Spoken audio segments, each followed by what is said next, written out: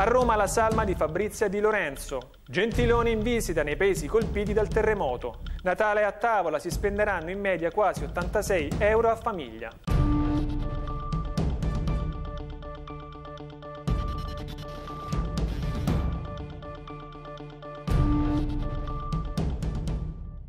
È rientrata in Italia da Berlino la salma di Fabrizia Di Lorenzo ad accompagnarla ai genitori. È stato il Presidente della Repubblica Sergio Mattarella ad accoglierli all'aeroporto di Ciampino. I funerali si svolgeranno a Sulmona lunedì.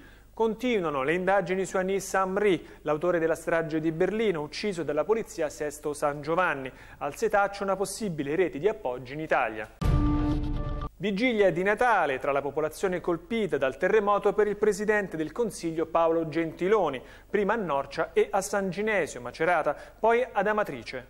La riapertura del centro storico di Norcia è un segno di volontà di riprendere, di ricostruire e soprattutto di guardare al futuro. Mi fa piacere se posso incoraggiarla con l'impegno di tutte le istituzioni, ha affermato Gentiloni.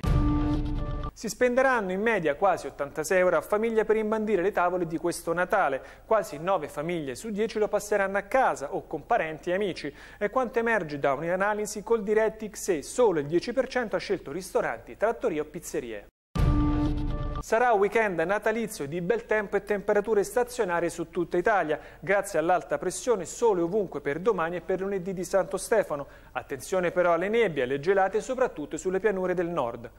Un buon Natale a tutti da parte mia e da parte della redazione, arrivederci al 27 dicembre.